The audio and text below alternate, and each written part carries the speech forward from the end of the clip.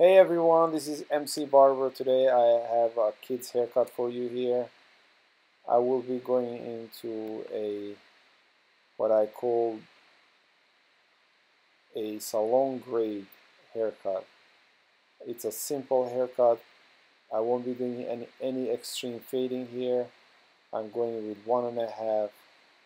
Uh, basically, I'm doing one and a half with a Fohawk. Uh, it's a very simple and quick haircut that you can do, uh, but the result is very nice. So here I'm using one and a half. I'm removing the bulk of the hair. It's a very simple step. I'm removing the bulk and setting foundation for my fade, I mean for my haircut. I usually this takes me about a minute and a half to two minutes. I love using heavy duty clippers uh, they cut clean, they cut fast, uh, they remove hair evenly, they don't leave any lines. Uh, when you use uh, the white teeth, the plastic combs, sometimes they, they leave lines. Uh, these do not leave any lines across and it's a very fast and, and quick way to remove the bulk. Even though I'm doing just one and a half now, I'm doing a taper on the bottom a lot of times clients say, I like one and a half, but I want to have a taper on the bottom. So here is a quick way to do a taper. Basically, I started with an open guard and I'm using now 1 16 of an inch to blend between one and a half and uh, you know no no blade no guard on my blade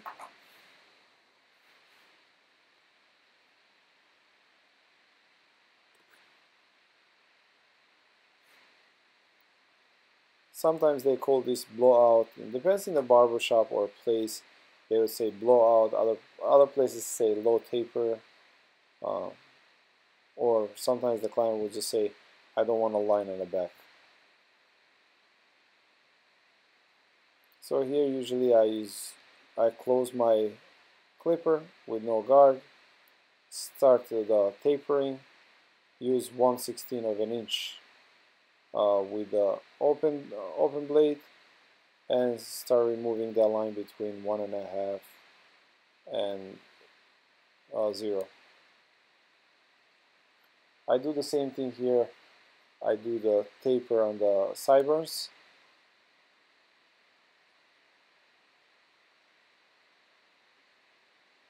Keep it very low. Now the like the reason I like to use on the end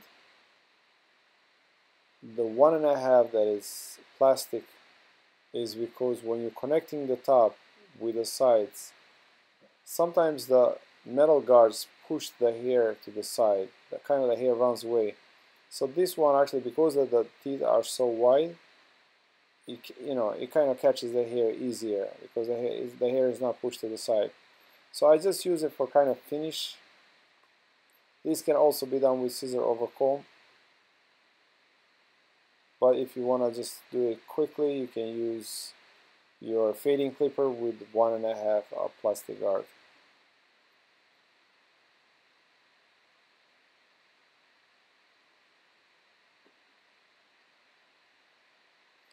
It's a very effective way to blend as well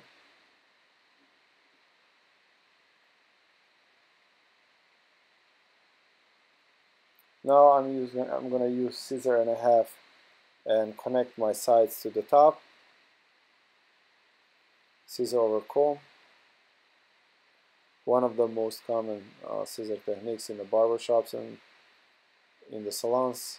It is very important that you only move your thumb when you do this technique and try to keep your thumb bent, not really straight. That create if you keep your thumb straight and too far inside the ring of your scissor. You see how I keep it just on the tip of my ring? And I try to keep my, my thumb bent so it keeps my hand loose. Uh, if you have your thumb too far in and it, stays straight, it creates tension and makes your hand tired very fast. And you know, down the road you can develop different different problems with your hands, such as carpal tunnel and so on and so forth. I was doing so many haircuts at one point that my hands would start hurting. So I said forget this. I want to go out of commission. So I started training my left hand and eventually I just get to work with my left hand just the way I work with my with my right hand. Uh, otherwise I'm just I'm actually righty. I'm not ambidextrous. But now it comes very handy you know when I work with uh, on one side I, I do my right hand and the other side I do my left hand I do do a lot of scissor work in my barbershop. I do classes on the scissor techniques I do about 10 different uh, scissor techniques here because I'm doing kind of messy hawk I'm using a traditional technique that is called sculpting with a straight edge razor with no guard on my razor. It's straight edge, straight edge. Uh, it is very nice way to create that soft finish as you will see the end result. I mean nothing can give you that nice messy look uh, with a soft finish such as the straight edge razor does. I love straight edge razor. I do also a lot of work with uh, a straight edge. I think between the razor, clippers, and scissors, in my barbershop they are almost equally divided. Uh, it's not just one or the other. I use scissors quite a lot. I also use razor a lot and I use clippers a lot. As well I teach workshops on the scissors, on clippers, on uh, straight edge razor. I also do about 8 to 10 different techniques with straight edge razor um, from sculpting, thinning, blending, uh, blunt cutting, notching, point cutting, all these techniques can be actually done with a straight edge razor just like with scissors or clippers. Here I'm just kind of snip, snipping the ends and trying to cut the sides slightly shorter than the center.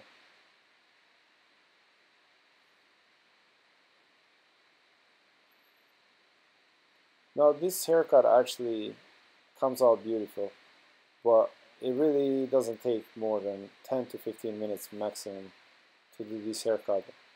It doesn't matter how long the hair it is, I would follow exactly the same steps that I just follow right now. One and a half, you know, scissor over comb on the sides to connect the sides and, and the top. Uh, you know, little uh, razor work for texture, scissor work for a lint removal or you can remove the lint with a straight edge razor as well with a notching technique. Uh, blow drying the hair to one side then I go back and I blow dry hair to the other side it almost kind of confuses the hair so the hair almost doesn't know which way it wants to go and it also creates the, the volume so uh, it is definitely way easier way to create a messy kind of faux and the front I like to push a little bit to the side.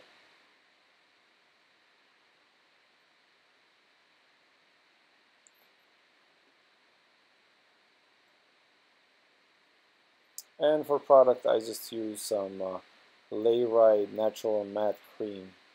Uh, it really gives you a medium hold, gives you matte finish. I don't want any shine in this haircut and it gives you really a nice finish. And there it is um, your boys uh, hawk with one and a half on the side, tapered back and tapered sideburns. Now thanks for watching my video, I really appreciate it. Don't forget to subscribe. MC Barber is my website, uh, mcbarber.com. Uh, the MC Barber, T-H-E-M-C Barber is my Instagram. MC Barber is my Facebook page.